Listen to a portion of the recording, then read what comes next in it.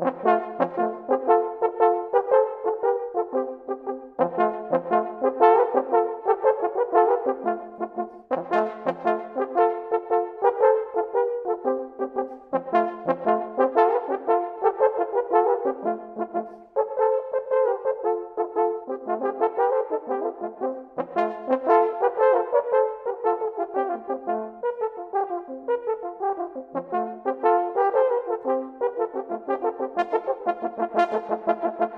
So, although we're the musical instrument collection of the University of Edinburgh, we are open to the public, uh, so anyone is very welcome to come and have a look round. We have a lot of concerts and events going on here, and the joy is that we can use 18th century instruments in an 18th century concert room in a way that is really not possible anywhere else.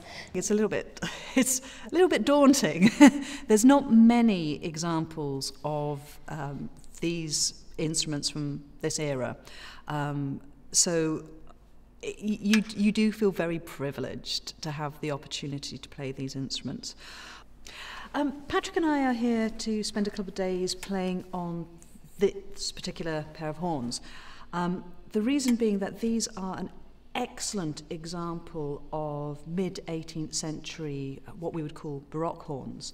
And because they are a pair, it's wonderful to get the opportunity to play them alongside one another. Sometimes you find one of these in existence, but this is quite a good um, a well documented set of horns. They're made by Hofmaster in London in around about um, the mid 18th century. One of the reasons it's great for Patrick and I to have the opportunity to come here and play these originals. We're shortly going to be recording a disc of lots of pieces associated with Mr. Charles when he was in Dublin. Um, he's a very important figure when he arrives in Dublin, especially because of the connection with Handel.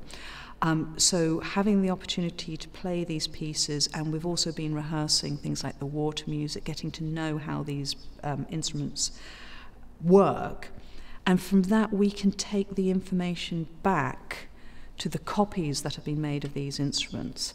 And I, I think we're both really excited about taking this information back to the Irish Baroque Orchestra These instruments have been on loan uh, to the University of Edinburgh for a, a long time, uh, and we're thrilled to have them here in the collection. They're part of an interesting group of instruments that were acquired by Sir Samuel Hellier uh, to form his own house band.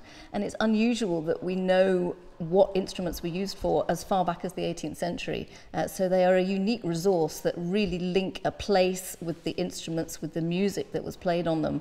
And as such, they're a fantastic tool for modern uh, specialists who play these instruments to really understand what they're getting to grips with.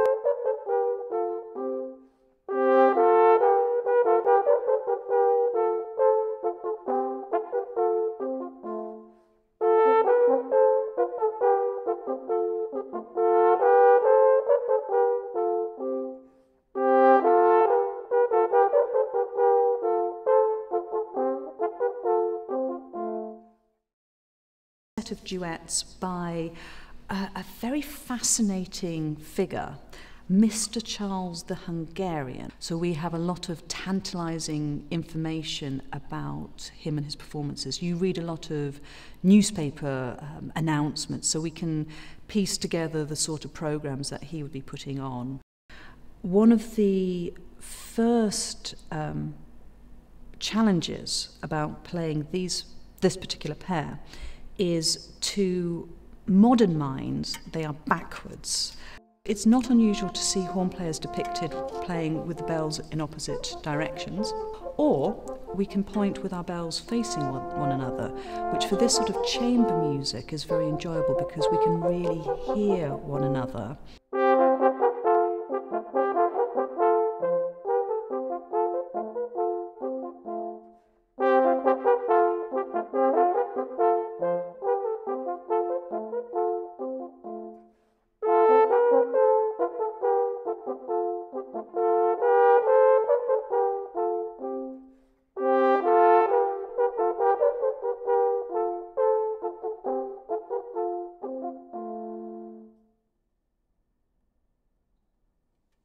The instruments come with a set of crooks. Uh, crooks are little bits of extra tubing, the little circular bits uh, on these instruments that enable you to change the pitch of the instrument. So adding a bit more tubing makes the tube longer and so lowers the pitch. Horns would come with a set of crooks of lots of different lengths and you would have a big box of them, and so it's quite heavy to, to travel around with.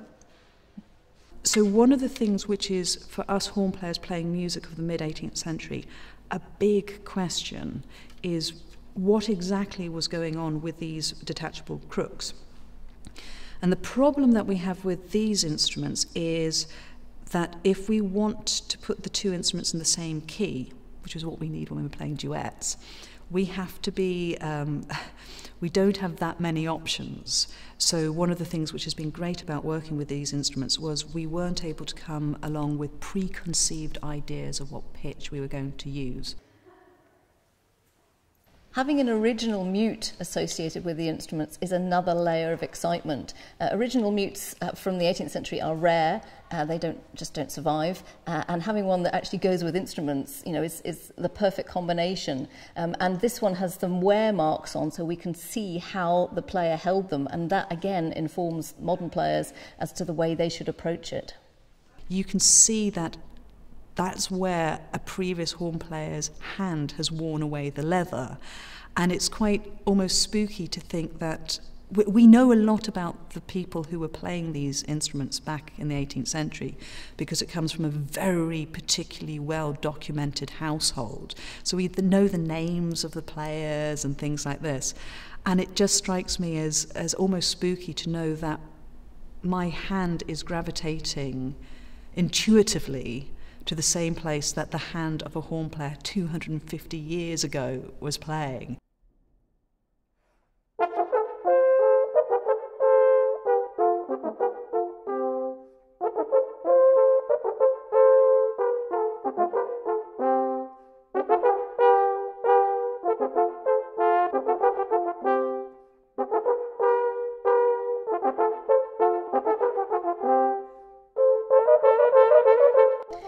Horns in orchestras travel in pairs usually. Uh, to this day, your horn section will be four players who work as two pairs. So it's part of the kind of musical tradition. It's not often that they survive together, though. You, will often find one uh, instrument in a museum, um, for example. So again, that's another additional joy uh, of these particular instruments. And, and the other thing is actually they work really nicely as a pair together.